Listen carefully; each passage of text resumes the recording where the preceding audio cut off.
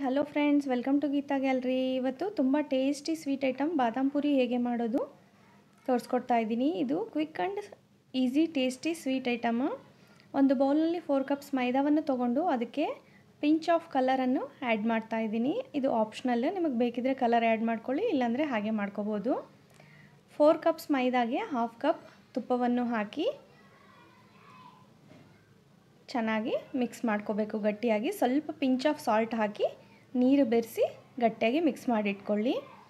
ಇನ್ನು ಒಂದು ಬೌಲ್ನಲ್ಲಿ ಒಂದು ಕಪ್ ಶುಗರನ್ನು ತಗೊಂಡು ಹಾಫ್ ಕಪ್ ವಾಟರ್ ಆ್ಯಡ್ ಮಾಡಿ, ಸ್ವಲ್ಪ ಎಳಿ ಪಾಕ ಬರೋವರೆಗೆ ಗ್ಯಾಸ್ ಆನ್ ಮಾಡಿ.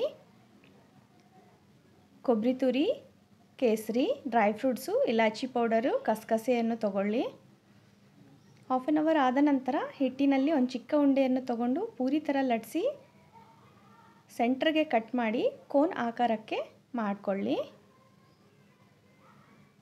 ಈ ಥರ ಕೋನ್ ಆಕಾರಕ್ಕೆ ಮಾಡಿಕೊಂಡು ಕಾದ ಎಣ್ಣೆಯಲ್ಲಿ ಡೀಪ್ ಫ್ರೈ ಮಾಡ್ಕೋಬೇಕು. ಇದು ಪಾಕ ಆಗಿದೆ ಫ್ಲೇಮ್ ಆಫ್ ಮಾಡ್ಕೊಳ್ಳಿ.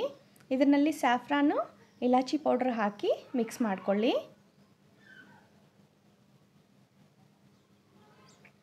ಎಣ್ಣೆ ಕಾದ ನಂತರ ಈ ಕೋನ್ಗಳನ್ನು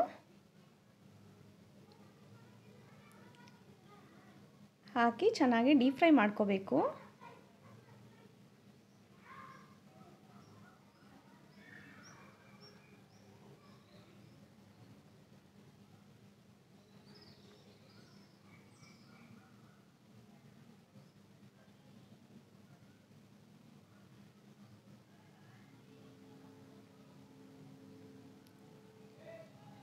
ಈ ಥರ ಎಲ್ಲ ಕೋನ್ಗಳನ್ನು ಮಾಡಿಕೊಂಡು ಫ್ರೈ ಮಾಡಿಟ್ಕೊಳ್ಳಿ. ಇಲಾಚಿ ಪೌಡರ್, ಸ್ಯಾಫ್ರಾನ್ ಹಾಕಿ ಚೆನ್ನಾಗಿ ಮಿಕ್ಸ್ ಮಾಡಿಕೊಂಡು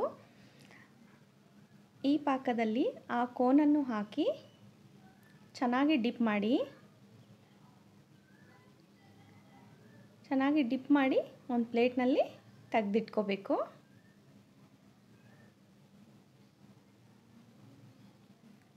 ಈ ಥರ ಎಲ್ಲ ಕೋನ್ಗಳನ್ನು ತೆಗೆದಿಟ್ಕೊಳ್ಳಿ.